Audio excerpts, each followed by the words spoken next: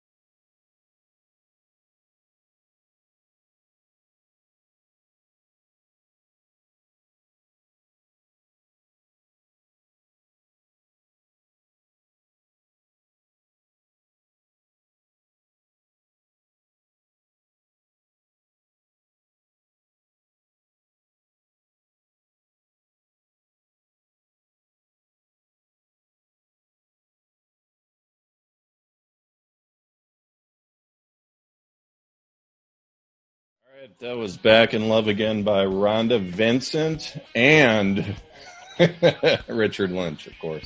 Um, so yeah, so we we played one of their tunes. Uh, I believe it was I don't know maybe six weeks ago. Uh, and so man, I had to look up just a, a better definition of bluegrass. Uh, I just went and looked it up just so it makes sense to people.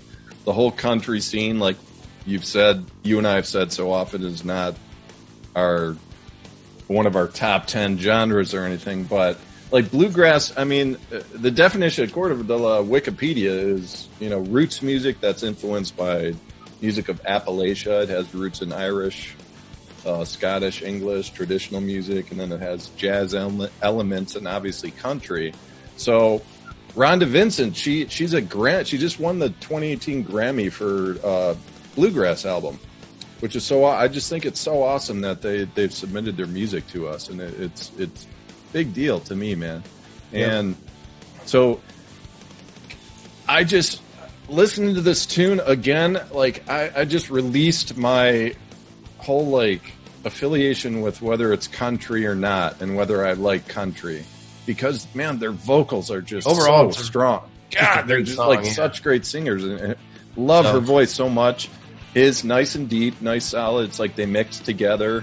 Um, it's just how can you not enjoy listening to that song, regardless of whether you like you know country or bluegrass or anything? I mean, what do you think, Joe? Uh, I think we should go to the next song because Rob's Yeah. about ready to shit his pants here. So